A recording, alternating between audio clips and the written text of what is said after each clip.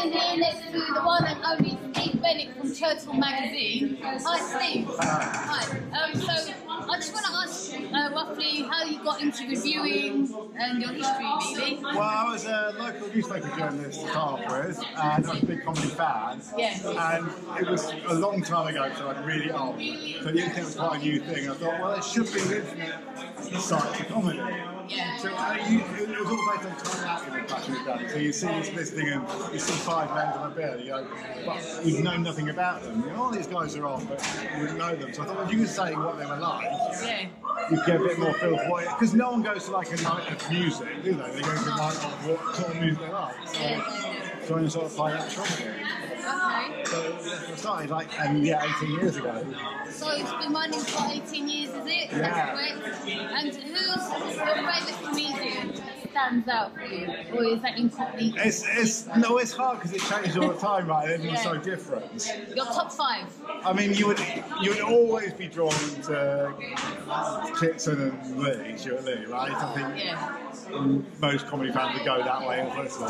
But I also like people who can do kind of more mainstream stuff, but still have an angle to it. Yeah. So I think Dara Ó Briain is brilliant. He's very, very broad and mainstream, but he's smart with it. And, he, and I can't imagine him ever failing, either, you know what I mean? He's Yeah, yeah. very good. And similarly, Greg Davies and Rhod Gilbert, people like that. Okay. So that's five, but that's not necessarily my top five. I gave you five just to go loads. it. There's always new and exciting ones that come out all the time. Yeah, I think that's, that's the thing is to find someone who's got. So and some people might just have one good show in their life. Go, well, that's Yeah. a brilliant show, and that's all it is.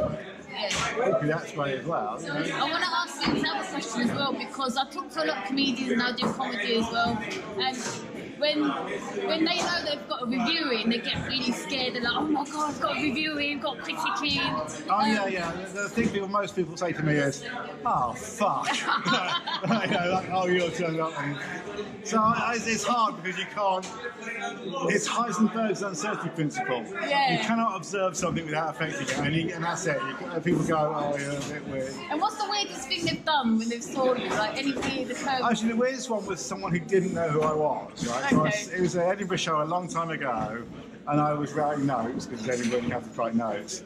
And that guy said, "What are you doing taking notes?" And I thought he knew he had a reviewer in, so I hilariously joked, "I'm stealing your jokes, mate."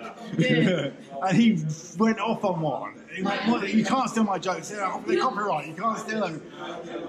And as I said, I explained what's really going on. Yeah. And he was the most hack comic. Nothing was original in the set at all. After, Oh, okay. So he went off on me for, steal, you know, for thinking I was stealing his jokes. Basically googling all the jokes and just like, Well, I mean, no, I was just because he saw with a notebook. no, like he was googling Oh yeah, he might. his stuff. Yeah, it was just very, very basic. Yeah.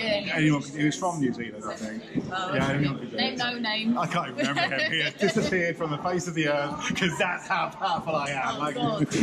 Cool. Okay, is there any advice you want to give to up and coming comedians?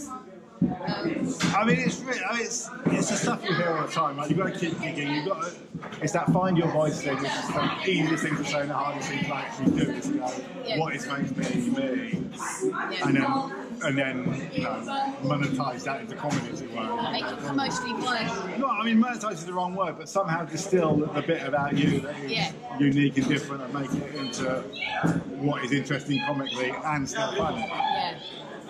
Yeah. And that is bloody hard. Yeah. Would you ever try stand up yourself? No, I think you have to be uh, you have to be young and naive and not know anything about it to start it. Right? The more I know about comedy, the more I go, Yes, you want to oh, that is so hard, right? yeah. I mean, you see someone do a great, gig, and go, oh, that's brilliant. I can see how you want to be the centre of attention, getting all the laughs. But when you know it is at least five years of trucking around the country and Yeah. Playing shitholes and eating things why would you sign up for that? Just get a day job, get a real job. Get a real job, yes. Yeah, my advice to comics is quit. Just quit. Just stop it. Steve, thank you. no problem.